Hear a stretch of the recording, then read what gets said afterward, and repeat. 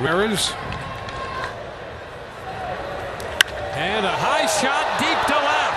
That's got a chance to go. All the way back, and that baby's gone. Home run Ramirez. I'll tell you what, Matt Moore has been struggling with the changeup in this particular outing. This one he pulls right.